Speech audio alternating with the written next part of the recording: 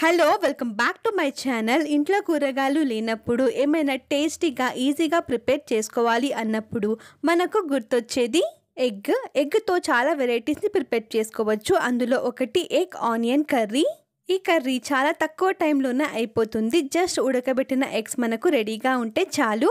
ఈ egg onion curry చపాతీతో రొట్టెతో అలాగే రెండు బ్రెడ్ స్లైసెస్ని తీసుకొని వాటి మధ్యన ఎగ్ ఆనియన్ కర్రీని యాడ్ చేసుకొని తీసుకుంటే కూడా చాలా రుచిగా ఉంటుంది. ఇంకా లేట్ చేయకుండా రెసిపీలోకి వెళ్ళిపోదాము. దానికోసం ముందుగా ఒక రోలులో ఒక పది మిరియాలు మూడు లవంగాలు రెండు ఇలాచి ఒక చిన్న దాల్చిన చెక్క ముక్కని యాడ్ చేసుకొని పౌడర్ లాగా ప్రిపేర్ చేసుకోండి. తర్వాత ఇందులో పీల్ చేసిన ఒక ఎనిమిది వెల్లుల్లి రెబ్బలు చిన్నగా కట్ చేసుకున్న అల్లం ముక్కలు యాడ్ చేసుకొని ఇవన్నీ దంచుకొని ఒక పేస్ట్ లాగా రెడీ చేసుకుందాము.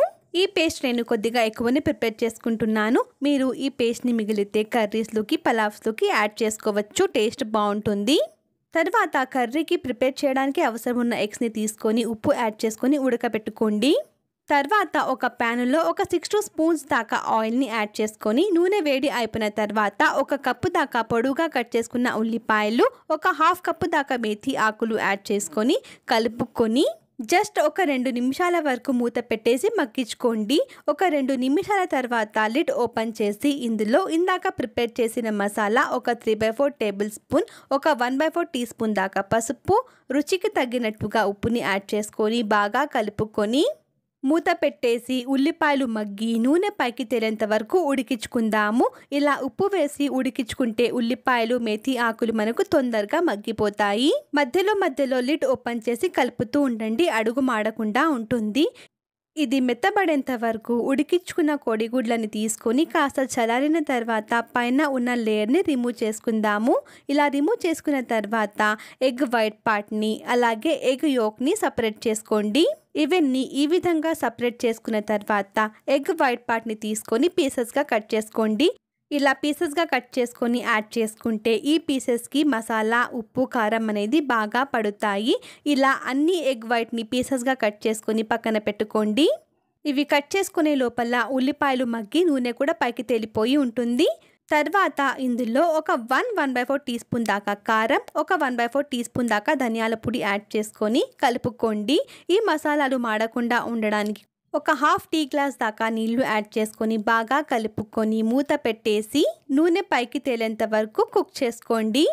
కారం యాడ్ చేసుకునేటప్పుడు చూసి యాడ్ చేసుకోండి. ఎందుకంటే మనము మసాలా ప్రిపేర్ చేసేటప్పుడు మిరియాలు కూడా యాడ్ చేసుకున్నాం కాబట్టి చూడండి ఇలా నూనె పైకి తీరిన తర్వాత ఇందాక చిన్న చిన్న పీసెస్గా కట్ చేసుకున్న ఎగ్ వైట్ పీసెస్ని కూడా యాడ్ చేసుకొని ఈ మసాలా అంతా బాగా పట్టేలాగా కలుపుకొని మూత పెట్టేసి జస్ట్ ఒక రెండు మూడు నిమిషాలు కుక్ చేసుకోండి. ఇలా కుక్ చేసుకోవడం ద్వారా ఈ వైట్ పీసెస్కి మసాలా ఫ్లేవర్స్ అంతా బాగా పడుతాయి.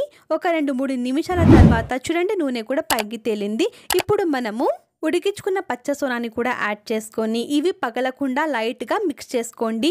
ఎక్కువ ప్రెజర్ పెట్టేసి కలుపుకుంటే ఎగ్ యోక్ అనేది బ్రేక్ అయిపోతుంది. అది బ్రేక్ అయిపోతే స్మెల్ వస్తుంది కాబట్టి స్మెల్ ఇష్టపడని వాళ్ళు లైట్గా మిక్స్ చేసుకోండి.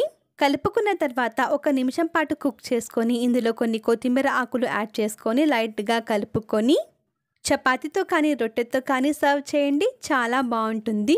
మీరు ఎప్పుడు ఈ కర్రీని ట్రై చేయకుంటే ఈసారి నేను చెప్పిన ప్రాసెస్లో ట్రై చేయండి. ట్రై చేసి మీకు ఎలా కుదిరిందో కమెంట్ సెక్షన్లో నాతో షేర్ చేసుకోవడం మర్చిపోవద్దండి. అలాగే ఈ రెసిపీని మీ ఫ్రెండ్స్ అండ్ ఫ్యామిలీ మెంబర్స్తో షేర్ చేసుకొని ఛానల్ని సబ్స్క్రైబ్ చేసుకోండి.